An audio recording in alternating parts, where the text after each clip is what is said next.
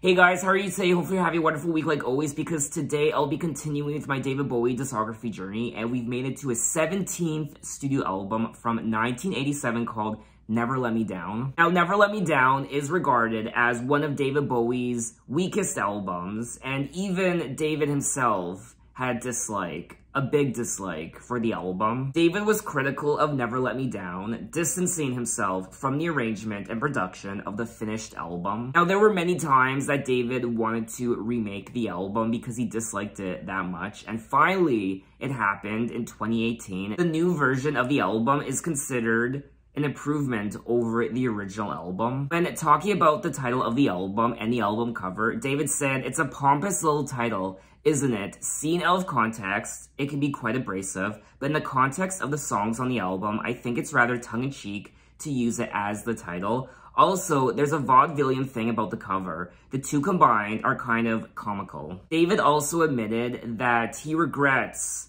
not being more involved in the production of the album. There's also a deleted track from the album because David disliked it that much. He wanted it removed from the album called Too Dizzy. And I did find it. And I'm curious, why did David hate it so much that he wanted it removed from the album? So I will be listening to Too Dizzy as well. Now, there are 11 tracks on the album, including too dizzy. Without Too Dizzy, there would only be 10. But anyway, let's get into it with track one, Day In, Day Out.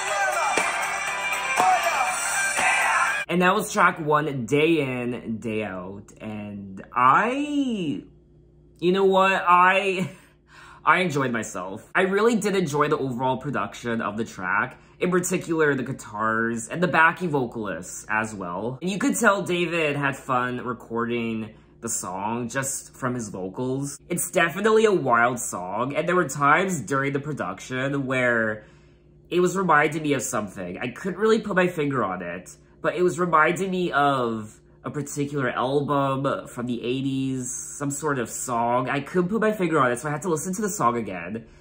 And what came to mind was Janet Jackson's Control album. It has that 80s Janet Jackson R&B industrial sound to it. It even kind of reminds me of Janet's Rhythm Nation album as well. So it's like a morph of Control and Rhythm Nation with David Bowie thrown into the mix as well. Day in and day out, stay in, fade out. She was born in a handbag, love left on a doorstep. What she lacks is a backup. Nothing seems to make a dent. Gonna find her some money, honey.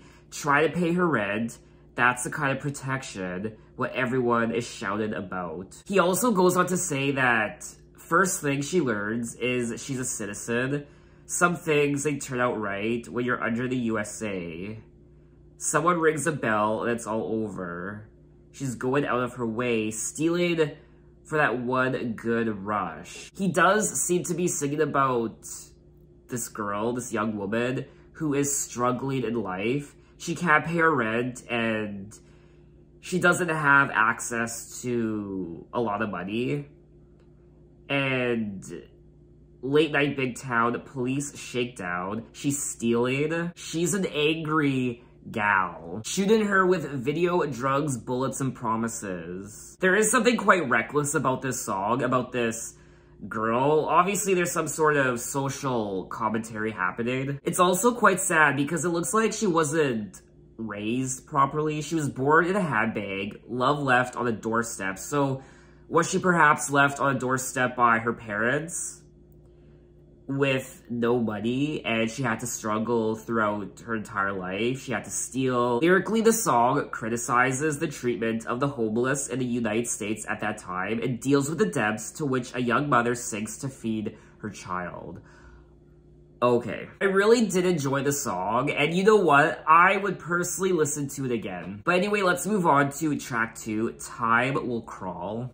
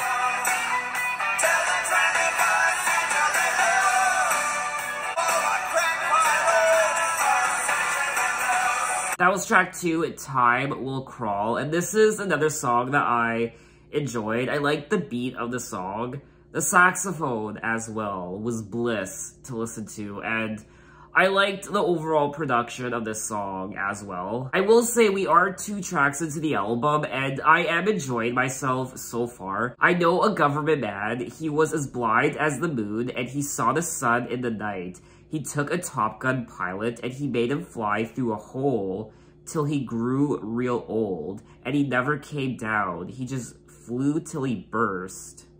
Time will crawl till our mouths run dry. Time will crawl till our feet grow small. Time will crawl till our tails fall off. And then he also says, you were a talented child. You came to live in our town. We never bothered to scream when your mask went on. We only smelt the gas as we lay down to sleep. Time will crawl for the crackpot notion. So just like track one, day in, day out, I imagine there is social commentary happening in this track as well. The song is kind of scary in a way. He's singing about this government man who was blind and he kept flying up into the sky until he burst. Time will crawl till our tails fall off. I saw a black, black stream full of white-eyed fish and a drowning man with no eyes at all. Huh. And the pills I took made my fingers disappear. We only smelt the gas as we laid down to sleep. I... I don't know.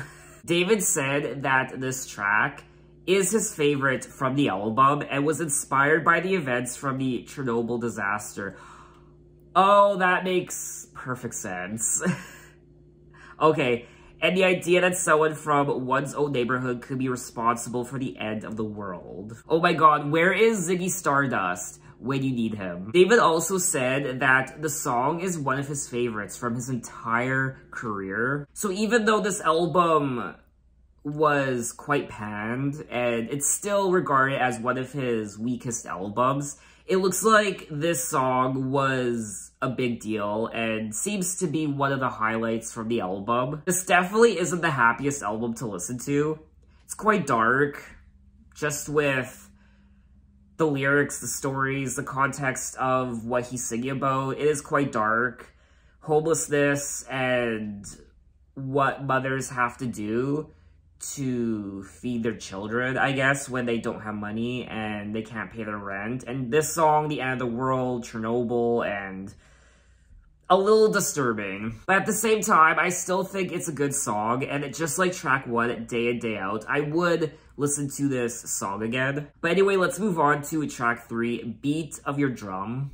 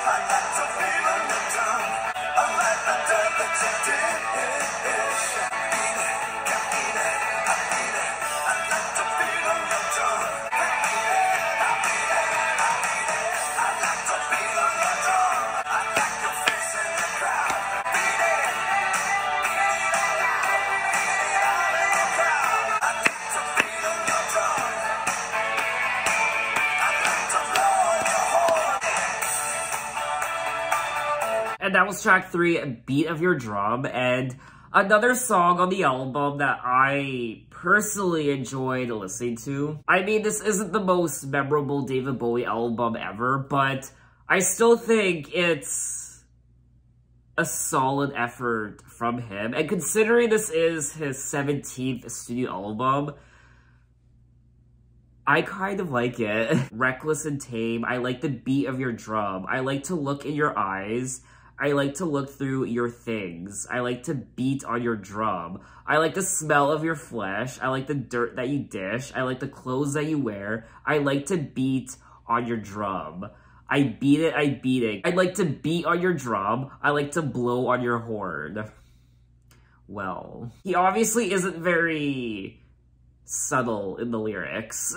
he wants to blow your horn. He wants to blow on your horn and he wants to beat on your drum. I don't know, maybe I'm reading too much into it or I just have a dirty mind, but obviously some sort of double entendres happening there. David called the song a Lolita song, and a Lolita is a young girl who is seductive. The song is a reflection on young girls Christ, she's only 14 years old, but jail's worth it. What? He said that, not me. David. That's what R. Kelly said, and look what happened to him. I should not have gone there. Anyway, I like the song, and I am enjoying this album so far, so let's just move on to the next track. Track 4, Never Let Me Down.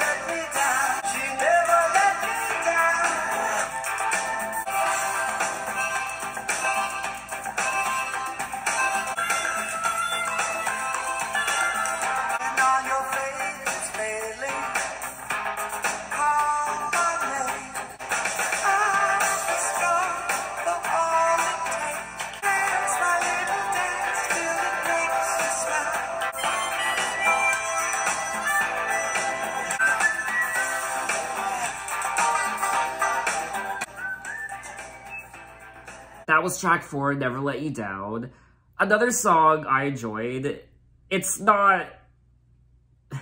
It's not the most memorable thing in the world, but I thought it was nice to listen to for the first time. I liked the melody of the chorus. And the harmonica, yes. I get really excited when I listen to the harmonica. Anyway, um, the whistling too at the end, I enjoyed. I will say it does sound like a very commercial sounding 80s ballad. It sounds like a song you'd hear in an 80s teen movie like Pretty in Pink or The Breakfast Club or something. She danced her little dance till it made me cry. She was shaken like this honey doing that. When I needed soul revival, I called her name. When I was falling to pieces, I screamed in pain. Your soothing hand that turned me round. A love so real swept over me. Never let me down. She never let me down. I did like the beat of this song, and even though I did say it's not the most memorable thing in the world when it comes to David Bowie's music, I still enjoyed it, and I... Okay. I would listen to it again, just like the other songs, so I'm I'm having a good time listening to this album. David described the song as a pivotal track for himself, calling it the most personal song he had written for an album to that point in his career. Wow. It's hard for two people to feel totally at ease in each other's company for that period of time and not expect too much from each other always be prepared to be there if the other one needs someone. It is a beautiful song lyrically and I do like the lyrics on this album. I like the stories that he's sharing with us on this album, but also the feelings as well, his heart. We are four tracks into the album, and so far it's four for four. I've enjoyed the first four songs. Let's see if we can continue the momentum until track 11. But anyway, let's move on to track 5, Zeros.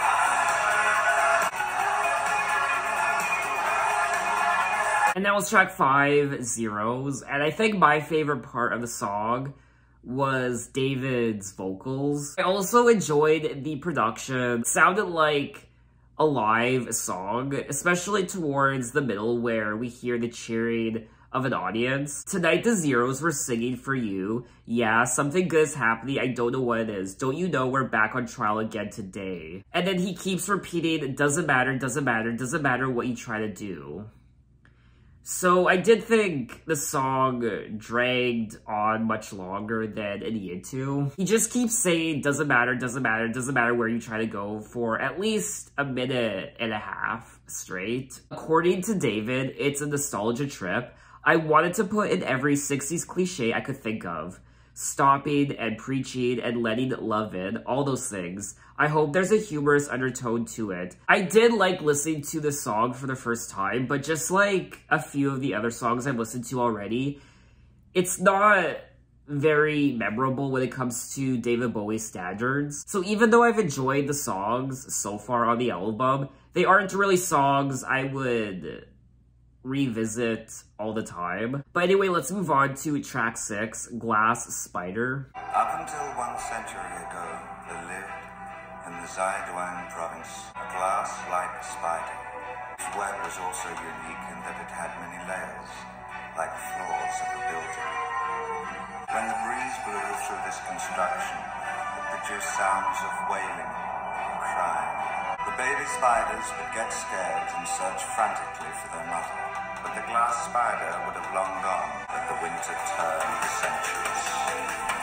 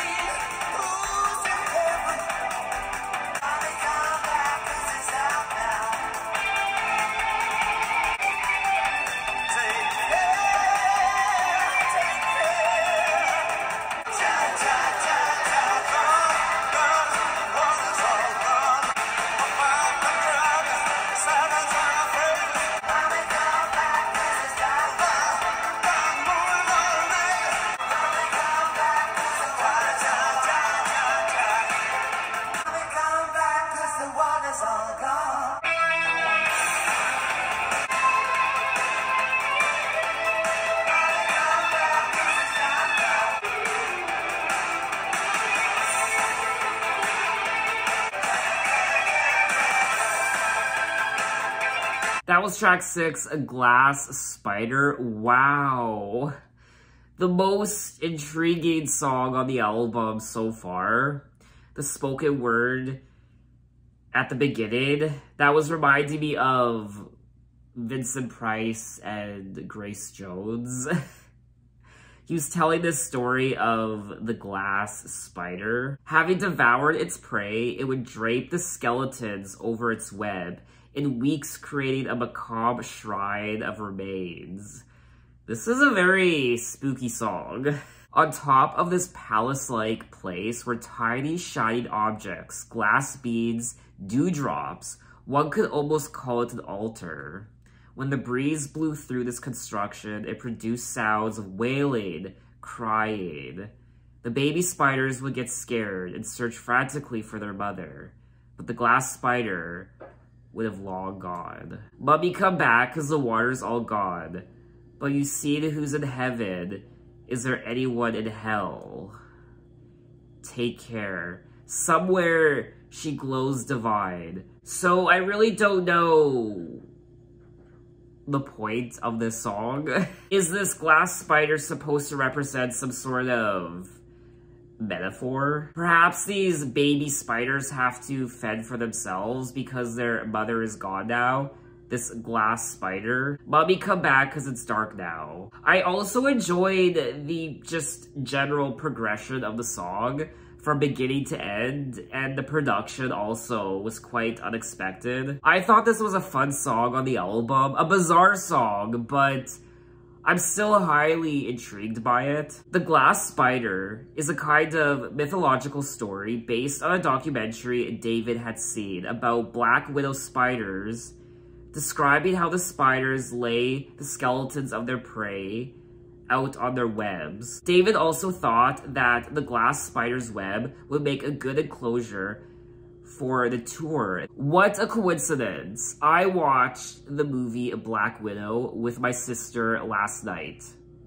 Black Widow, Scarlett Johansson. I did enjoy this track and I would definitely listen to it again. I think this might be one of my favorite tracks from the album. So let's move on to track 7, Shining Star.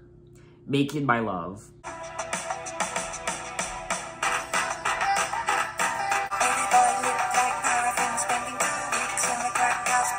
Who's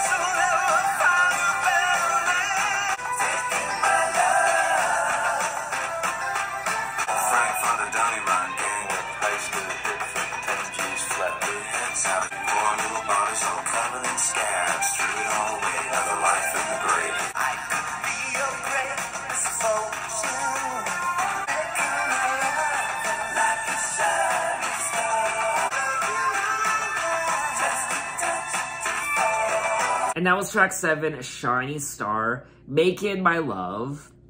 And I don't know if this song is absolutely brilliant or absolutely atrocious. At first, I didn't even know who was singing. Was that David at the beginning? His falsetto and... At first, I thought he sounded like George Michael, and then I thought he sounded like Prince, and then Michael Jackson. it's like he was trying to be everybody else other than himself on this track. It's almost like he was imitating other musicians. It's a very experimental song. I don't know what you guys think of it, but I didn't like it at all. It's definitely my least favorite song on the album. I'll even go as far as say that this might be one of the worst songs he's ever recorded, perhaps. I mean, what do I know, but the longer I think about it and the longer I let the song settle in my stomach, in the pits of my stomach, um, I... There wasn't anything particularly good about it, in my opinion. Spending two weeks in a crack house, burns on his braids like Chernobyl. Dean was seen with a two-bag purchase. He was lying dead on his mother's bed. Someone to pray for. Making my love like a shining star. Taking my love just a touch too far. Tessie turns tricks with a soul like ice.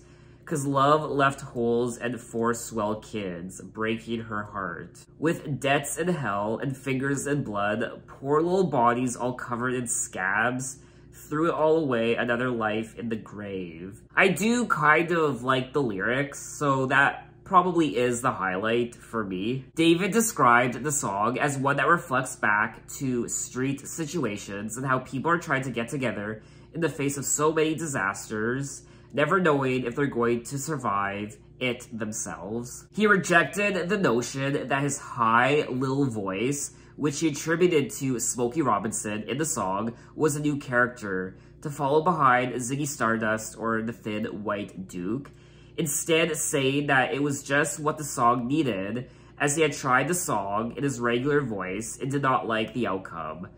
That never bothered me, changing voices to suit a song. Well, he fooled me. I mean, you could tell he was having fun with the song. It's a very experimental song, but it's definitely not a David Bowie song that I would want to listen to again. It is definitely one of those songs where you have to listen to it again, which is probably something I need to do. I just thought the song was just all over the place and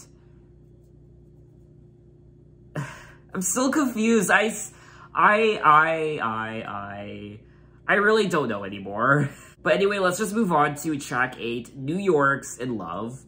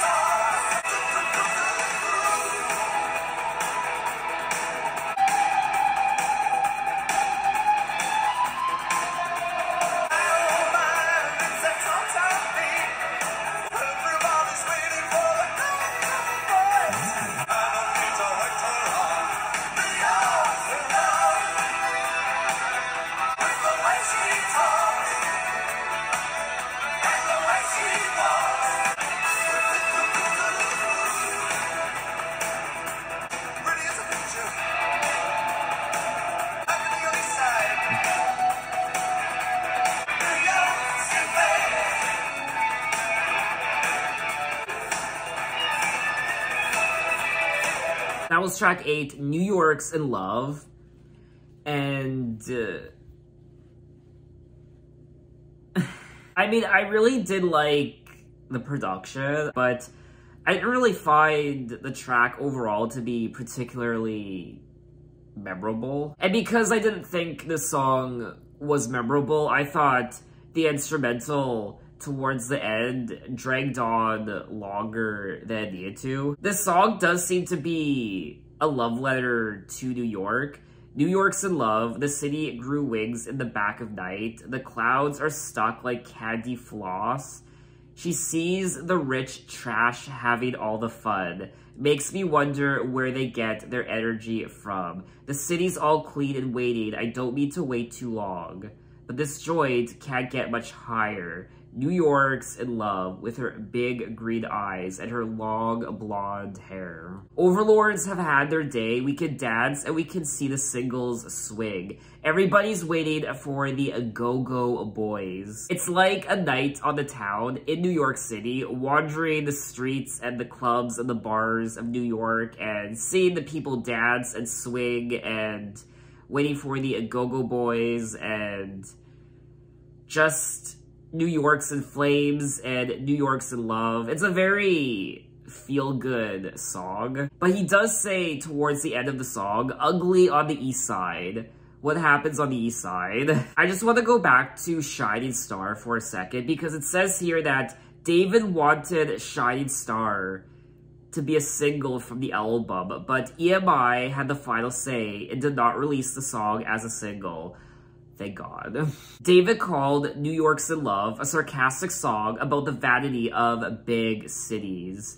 So I guess it's not really a love letter to New York. It's more so just a comedic take on the brats of New York, the rich snobs of New York. She sees the rich trash having all the fun. So I guess it's a very superficial look at New York. I've never been to New York. I know, so sad. But definitely within the next few years. I have to. I'm sick of waiting. I have to go to New York. I also found his vocals on this track to be interested. I will say there does seem to be something quite experimental about this album production-wise, and just the flow of the album, even his singing. He's definitely trying new things with this album. But anyway, let's move on to track 9, 87, and Cry.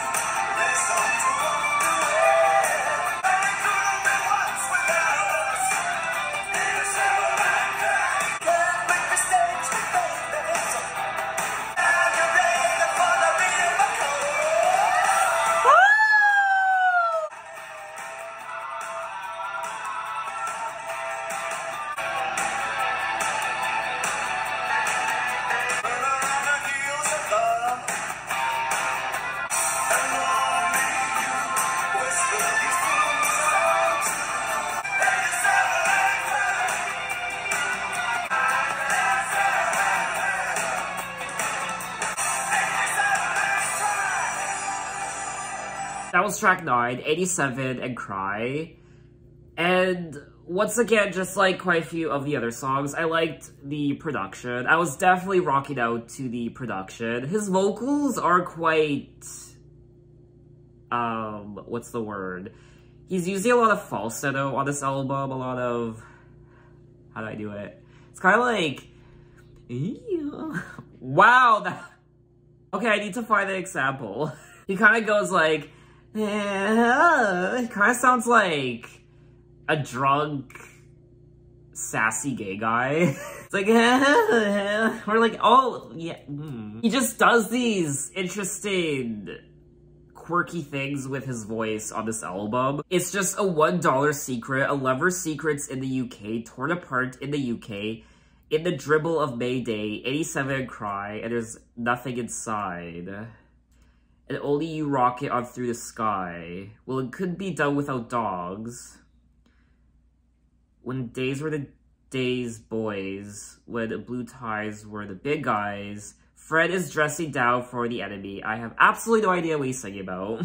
David originally wrote the song 87 and Cry as a statement about Margaret Thatcher, oh, who was the Prime Minister of the United Kingdom at the time. The song referred to the distinction between the authoritarian government and the citizens, the dogs. The Diamond Dogs, no.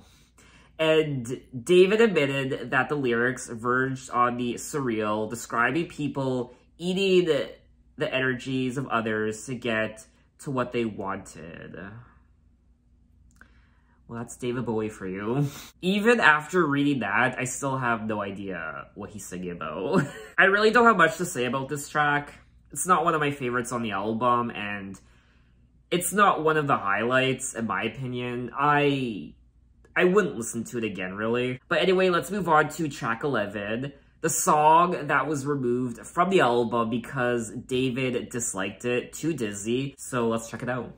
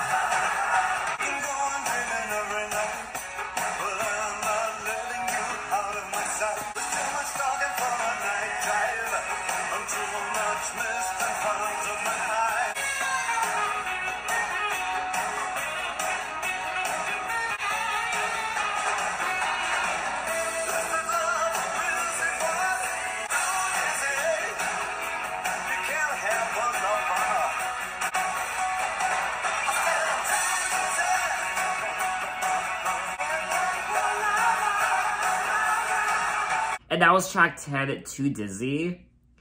And uh, I just, I don't know, I just thought the track itself was quite boring to listen to.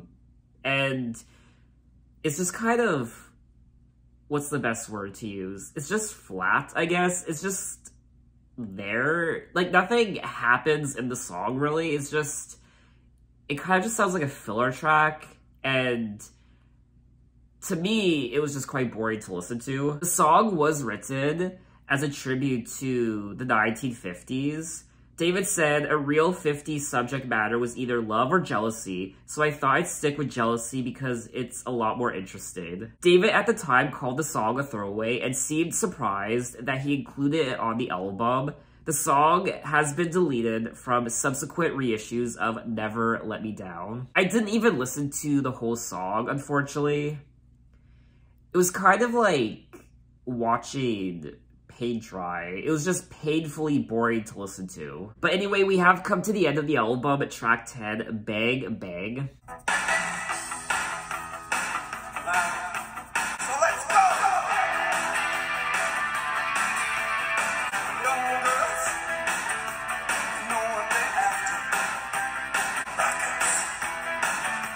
Shooting up into space. Mine. Mmm.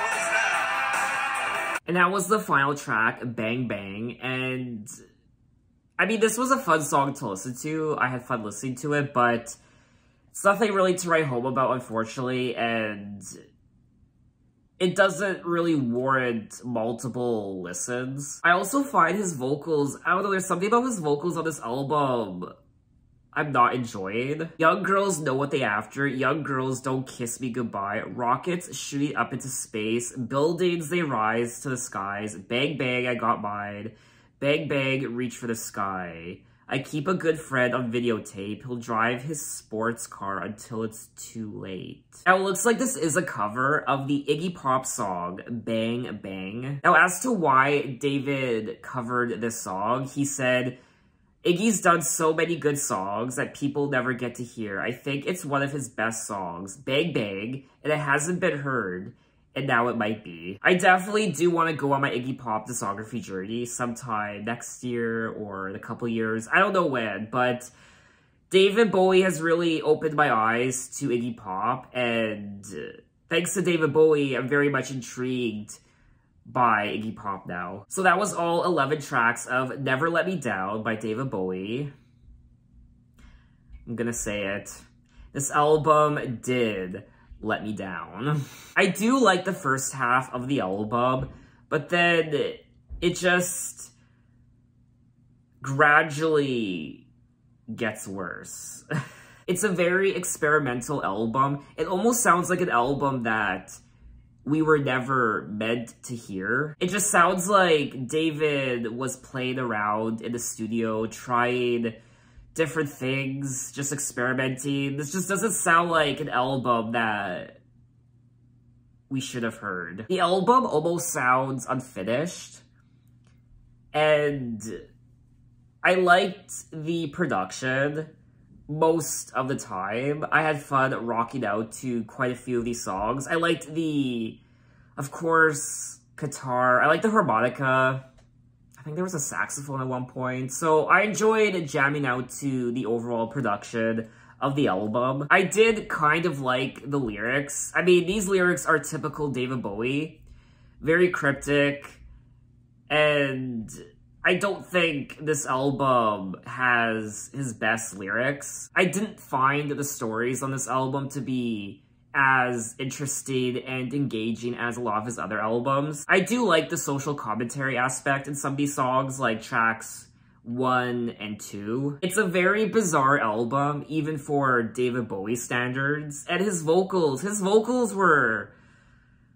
I don't know what he was trying to do at times, but I did like his vocals at times during the duration of this album, but there were other times where he was just doing bizarre, strange things, falsetto, and these quirks, and I can't really explain it, but I don't really like what he was doing with his voice a lot of the time. It is a sloppy album. It's kind of just all over the place. I do think the most intriguing song on the album is track 6, Glass Spider. I just think some of these songs are quite boring to listen to. In particular, the songs on the second half of the album. Not very memorable, not a lot of replay value, unfortunately. I don't really know what he was trying to do with this album, but like I said already, this album, for me anyway, is uncooked, and it's like the beginning stages of a good album like this was the lead up to something better. Like he was experimenting with this new sound, that tried to come up with something, but instead we just got this. There is something quite flamboyant about this album when it comes to David's energy and his singing. I can see why a lot of people disliked this album and call it one of his weakest. Someone said here that the album is a mix of commercial and experimental sounds, which, yes, I do agree with that, because there are songs on here that do sound quite commercial, like track 4, Never Let Me Down, and then there are other tracks like, I mean, there's so many, Glass Spider, Shining Star, what have you, that are just quite experimental to listen to. I do like that David was experimenting and trying new things with this album, but to me, this album is just uncooked. So what did you guys think of the album, and what are your impressions of it? I don't know, it's just for me anyway, I just, I didn't find anything particularly interesting about this album. Nothing really stood out to me, and I did like some of the songs, but it's just all kind of a blur to me. But anyway, in my next David Bowie video, we will move on to his next solo album, six years later. He didn't release an album for six years after this album, and I don't blame him, because this album was a mess. It was. But I will be listening to a Black Tie White Noise from 1993. Now, some of you pointed out to me that he put out an album called Tin Machine.